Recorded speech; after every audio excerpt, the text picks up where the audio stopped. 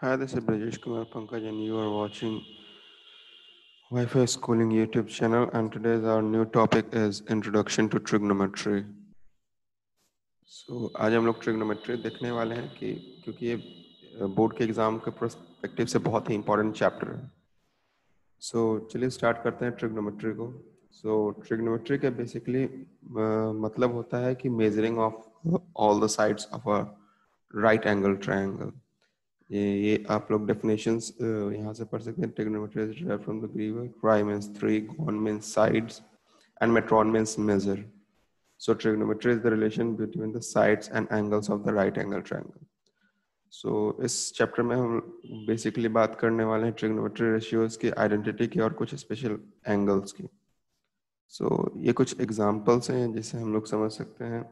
जैसे यहाँ पे एक बंदा खड़ा है और ये कुतुब मीनार के टॉप पॉइंट को देख रहा है। सेम इसी तरीके से यहाँ पे भी एक स्टूडेंट है और ये अपोजिट साइड बैंक के अपोजिट साइड एक रखे फ्लावर पॉट को देख रही है तो ये इनके आँखों और इनके लाइन ऑफ़ साइड के बीच में ये एंगल कुछ बन रहा है सेम ऐसे ही। यहाँ पे एक बलून पॉइंट ए से पॉइंट बी पे दिख जाता है तो यहाँ भी एंगल्स चेंज हो रहे हैं। तो यहाँ बेसिकली हम यही काम करना है कि एंगल्स और साइड्स फाइंड करना है। सो राइट एंगल ट्रायंगल में हम ये सबसे बेसिक चीज़ है कि ये बेस कहलाता है। बेस पे एक परपेंडिकुलर होता है और इन दोनों को लाइन मिलाने वाले को हम लोग हाइपोटेनस कहते हैं। राइट सो so, अब हमें बेसिकली चीज़ याद रखना है ये कि साइन कॉस किसी एंगल का कैसा निकालना सो so, तो यहाँ पे काफ़ी कॉम्प्लिकेटेड हो जाएगा समझना और बार बार पीछे जाना पर इससे बढ़िया मैंने इससे इसका निचोड़ निकाल के रखा है। दैट इज़ कि sine is perpendicular upon hypotenuse cos is base upon hypotenuse and tan is perpendicular upon base. और हम लोग जानते हैं कि साइन और कोसेक एक दूसरे के रेसिप्रोकल होते हैं।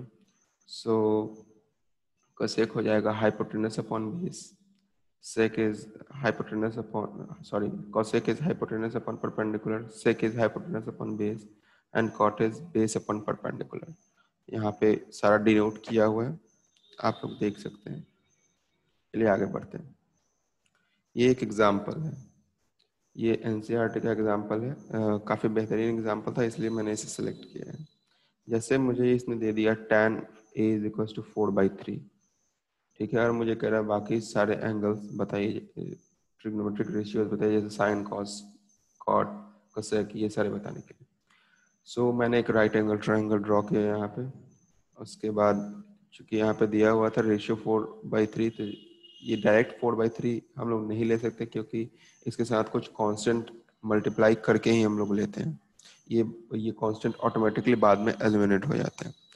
सो so, अब हम लोग यहाँ पे पाइथागोरस अप्लाई करेंगे। क्योंकि मुझे बेस और परपेंडिकुलर पता है तो मुझे हाइपोटेनस चाहिए। तो पाइथागोरस थ्योरम होता है, पर hypotenuse square is equal to perpendicular square plus base square so जब हम लोग four square sixteen plus three square nine add करेंगे तो ट्वेंटी फाइव के स्क्वायर तो यानी ए सी मेरा आ जाएगा फाइव के सो अब जैसे ही मुझे तीसरा साइड मिला, मेरा प्रॉब्लम सॉल्व हो गया। अब क्या करना है कि साइन साइन होता है परपेंडिकुलर अपॉन हाइपोटेन्यूज। तो परपेंडिकुलर मुझे फोर के पहले से पता था और हाइपोटेन्यूज फाइव के मैंने यहाँ से निकाल लिया। सो so ये देखिए ऑटोमेटिकली यहाँ से के एलिमिनेट हो गया और फोर बाई फाइव बचा। In the same way cos A cos होता है बेस अपॉन हाइपोटेन्यूज बेस यहाँ पे थ्री के है और हाइपोटेन्यूज हमारा फाइव के है। तो यहाँ भी के के एलिमिनेट हो गया और थ्री बाई फाइव आ गया। ना, अब चूँकि साइन मिल गया कॉस मिल गया और टैन मुझे पहले से पता था। तो बस अब क्या करना है कि बाकी तीन जो ट्रिग्नोमेट्रिक रेशियो ये आसानी से निकल जाएँगे। कैसे कॉट जो होता है, ये टैन का रेसिप्रोकल होता है। तो चूँकि टैन फोर बाई थ्री था तो कॉट क्या हो जाएगा? इसका फोर बाई थ्री का reciprocal that is one upon four by three that is three by four cosec sine का रेसिप्रोकल होता है। तो ये फोर बाई फाइव था तो कोसेक हो जाएगा फाइव बाई फोर कॉस जो था थ्री बाई फाइव था तो कोसेक हो जाएगा five by so I hope ये आप लोगों को काफ़ी क्लियर हो रहा होगा। काफ़ी अच्छा एग्ज़ाम्पल था और आसान भी था। एक और हम लोग एग्ज़ाम्पल लेते हैं। ये थोड़ा अच्छा एग्ज़ाम्पल है। इसमें ये दिया हुआ है कि एक राइट एंगल ट्रायंगल है A C B right angle C पे है। इसमें ए बी हमारा दिया हुआ है ट्वेंटी नाइन यूनिट्स और बी सी जो बेस है हमारा ट्वेंटी वन यूनिट्स दिया हुआ है। अब कह रहा है मुझे कि determine the value of cos square theta plus और ये थीटा मुझे दिया तो अब चूँकि मुझे साइन और कॉस निकालना है तो मुझे ये तीसरा साइड जब भी हम लोग ट्रिग्नोमेट्री का कोई भी क्वेश्चन सॉल्व करने बैठे तो पहला हमारा एम ये होना चाहिए कि हमें तीनों साइड्स पता इसमें दो साइड पता है, तीसरा साइड पता कर लेंगे कैसे? तो पाइथागोरस थ्योरम अप्लाई करके। पाइथागोरस थ्योरम मैंने अप्लाई किया hypotenuse square is equals to perpendicular square plus base square तो यहाँ पे परपेंडिकुलर स्क्वायर हो जाएगा under root hypotenuse square minus base square तो हाइपोटेनस मुझे 29 पता था 29 स्क्वायर बेस 21 था 20 माइनस ट्वेंटी स्क्वायर जब इसे हम लोग करेंगे तो ये मेरा सॉल्व करने के बाद 20 यूनिट्स आ जाएगा। आप लोग ट्राई करके देख लीजिएगा आंसर एग्जैक्ट आ जाएगा। ना अब जैसे ही मुझे मेरा थर्ड साइड मिला, मेरा प्रॉब्लम सॉल्व हो गया। कैसे? मुझे साइन मिल गया। साइन क्या होता है? परपेंडिकुलर अपॉन हाइपोटेन्यूज परपेंडिकुलर मुझे निकल गया 20 और हाइपोटेन्यूज हो गया 29 सो देखिए 20 अपॉन 29 और कॉस कॉस होता है बेस अपॉन हाइपोटेन्यूज तो 21 अपॉन 29 ये तो मुझे पहले से ही पता था। अब बस कुछ नहीं करना है स्क्वायर करके ऐड कर देना है। Cos square theta plus sin square theta. So 20 square upon 20, 20 twenty 29 का whole square plus 21 upon 29 का square. जस्ट इसे कुछ नहीं करना है एलसीएम करके ऐड कर देंगे आपका आंसर आ जाएगा। दूसरा भी सेम करना एक बार प्लस किया एक बार माइनस करेंगे एलसीएम लेके सब्ट्रैक्ट कर देंगे हमारा आंसर आ जाएगा।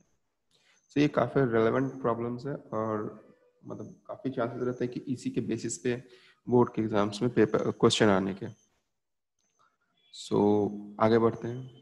अब आता है हमारा ट्रिग्नोमेट्रिक रेशियोज ऑफ़ कुछ सम स्पेसिफिक एंगल्स का आप देखते हैं कि यह साइन ज़ीरो का वैल्यू ज़ीरो आता है थर्टी का वन बाई टू सो ये सब देखते हैं। सो so, अगर ये चार्ट हमें याद रहता है तो हमारा ट्रिग्नोमेट्री में कोई भी क्वेश्चन नहीं छूटेगा खास करके ट्रिग्नोमेट्रिक रेशियोज का। और ये जो चार्ट है ये आपका थ्रू आउट ट्वेल्थ में भी यूज़ आ जाएगा और और आपको ग्रेजुएशन तक भी इसका यूज़ आ सकता है। चलिए स्टार्ट करते हैं। साइन ज़ीरो पहले क्या करना है कि पहले इसे एक अरेंज्ड वे में लिख लेना है।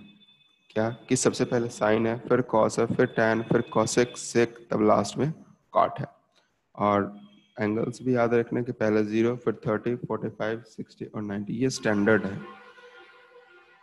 सो साइन ज़ीरो की वैल्यू ज़ीरो साइन थर्टी की value one by two sine forty five की one by root two sixty की root three by two and ninety की वन सो so, पहले क्या करना है कि हमें सिर्फ़ ये वाला लाइन याद कर लेना है। ठीक है साइन ज़ीरो ज़ीरो होता है नाइन्टी वन होता है forty five one by root two होता है और थर्टी वन बाई टू और sixty root three by two so फिर कॉस में क्या करना है? कॉस में जस्ट इसका उल्टा कर देना है रिवर्स कर देना है। जो इसके 90 के लिए था, इसके ज़ीरो के लिए होगा, जो इसके 60 के लिए था, इसके 30 के लिए होगा 45 सेम रहेगा, इसके 60 के लिए इसका 30 मतलब रिवर्स कर देना है, ठीक है cos zero one cos thirty root three by two cos forty five one by root two sixty one by two and ninety zero. Tan अब टैन चूँकि हम लोग जानते हैं टैन होता है साइन अपॉन कॉस तो देखिए, इसको भी हमें याद करने की ज़रूरत नहीं है। अगर आपको पहला और दूसरा याद है तो ये ऑटोमेटिक आ जाए, कैसे? साइन अपॉन कॉस का रेशियो ले लेंगे, क्योंकि टेन हम जानते हैं साइन अपॉन कॉस का रेशियो होता है। तो ज़ीरो अपॉन वन, ज़ीरो हो जाएगा। सेम वे यहाँ भी डिनोमीटर से टू टू कैंसिल हो जाएगा one upon root three so tan zero zero tan thirty one by root three tan forty five one दोनों सेम है कैंसिल हो जाएगा वन सिक्सटी रूट थ्री और tan ninety undefined that is infinity होता है, क्योंकि यहाँ पे वन अपॉन ज़ीरो जब हम लोग करेंगे तो यहाँ पे क्या आ जाएगा infinity not defined in the same way अब क्या करना है कि हम लोग जानते हैं कोसेक किसका रेसिप्रोकल होता है? साइन का। तो अब जितना हम मुझे साइन पता है तो मुझे कोसेक याद करने की ज़रूरत मैं क्या करूँगा? इसका रेसिप्रोकल ले लूँगा सभी, ठीक है? इन द सेम वे सेक हम लोग जानते हैं कॉस का रेसिप्रोकल होता है। तो कॉस हम लोग को याद है तो हम लोग उसका रेसिप्रोकल ले लेंगे, मेरा सेक आ जाएगा। और कॉट हम लोग जानते हैं टैन का रेसिप्रोकल होता है। तो अगर मुझे टैन याद है तो मुझे कॉट आसानी से याद करने की ज़रूरत नहीं है मैं आसानी से लिख सकता हूँ। सो देखिए, ये एक दूसरे से इंटर रिलेटेड है। आपको क्या करना है? सबसे पहला सिर्फ़ याद करना है। पहला याद करना है, साइन का। उसके बाद क्या करना है? कॉस में ये ध्यान रखना है कि इसको रिवर्स कर देते हैं। टैन हम जानते हैं साइन और कॉस का रेशियो ले लेते हैं तो ये वैल्यू आ जाएगी। तो इस तरीके से आप लोग इसे याद कर सकते हैं। काफ़ी आसानी है। अगर तीन चार बार लिखेंगे और याद करने की कोशिश करेंगे तो आसानी से याद हो जाता है। चलिए आगे बढ़ते हैं। तो ये क्वेश्चन है ये एनसीईआरटी का सबसे पहला क्वेश्चन है। और काफ़ी अच्छा था, इसलिए मैंने इसे सिलेक्ट किया ताकि इससे सारा बेसिक्स क्लियर हो जाता। है जैसे देखिए क्वेश्चन था कि sine sixty into cos thirty plus sine thirty into cos sixty का वैल्यू मुझे चाहिए था। तो बस कुछ नहीं करना। साइन सिक्सटी का अगर वैल्यू याद है root three by two cos thirty याद है रूट थ्री बाई टू आप पीछे से भी देख सकते हैं। Sine thirty cos thirty root three by two sine sixty root three by two sine thirty and cos sixty sine thirty is one by two and cos sixty is one by two so just value put करके मुझे multiply कर देना है root three into root three three two into two four three by four plus one by four that is answer one ये method one था। ये method to आप लोग के लिए ज़रूरत नहीं है काफ़ी हायर स्टैंडर्ड का है। चूँकि यहाँ पे मुझे वो फॉर्मूला अप्लाई हो रहा था इसलिए मैंने अप्लाई करके। ये आप लोग को अलेवेंथ में पढ़ने को मिलेगा। साइन ए प्लस बी का फॉर्मूला सो so, आप लोग इसे रहने दें आप लोग इस पर फोकस करें। नेक्स्ट क्वेश्चन है। ये क्वेश्चन काफ़ी अच्छा है। ये इस साल का थाउज़ेंड ट्वेंटी के बोर्ड एग्ज़ाम्स का क्वेश्चन है। क्या है कि टू देखिए कितना आसान क्वेश्चन आता है। Two into tan forty five into cos sixty upon sine thirty so देखिए two tan forty five tan forty five मुझे अगर याद है तो देखिए आसानी से कैसे बनता है। टेन फोर्टी फाइव मुझे पता है आप लोग इस चार्ट से देख सकते हैं। Tan forty five one cos sixty मुझे पता है वन बाई टू होता है और sine thirty one by two तो one by two one by two cancel two into one so ये ट्रिग्नोमेट्री बहुत ही अच्छा और बहुत ही सिंपल चैप्टर है और इससे बहुत सारे क्वेश्चन आते हैं approximately eight to nine marks के क्वेश्चन आपके बोर्ड एग्ज़ाम्स में आ जाते हैं. सो so, uh, इसी से रिलेटेड आगे एक चैप्टर मैं अपलोड करूँगा जो कि हाइट एंड डिस्टेंस है. वो हाइट एंड डिस्टेंस आपको तभी समझ में आएगा जब आप ट्रिग्नोमेट्री के पूरी बेसिक्स क्लियर हो जाएगी. सो so, आप लोगों को ये काम करना है कि आप ये वीडियोस जब ये देख लें तो आप एनसीईआरटी उठाएँ आर एस अग्रवाल उठाएँ आर डी शर्मा उठाएँ और क्वेश्चन सॉल्व करें। क्योंकि मैथमेटिक्स सीखने का एक ही तरीका है practice lots of question so question जितने बनाएँगे टाइप्स उतने आते जाएँगे। तो इसका कोई बेस प्रॉपर टाइप नहीं होता। आप जितने क्वेश्चन बनाएँगे आपका कॉन्सेप्ट उतना क्लियर होगा चीज़ें याद रहेंगी लंबे समय तक याद रहेंगी। सो आई होप ये लेक्चर आप लोगों को पसंद आया होगा। हमारा, आप हमारे वाईफाई स्कूलिंग यूट्यूब चैनल को विज़िट करें लाइक करें सब्सक्राइब करें अगर इस वीडियो को पसंद आ रहा है तो। और मैं जल्द ही अगला वीडियो अपलोड करूँगा। Thank you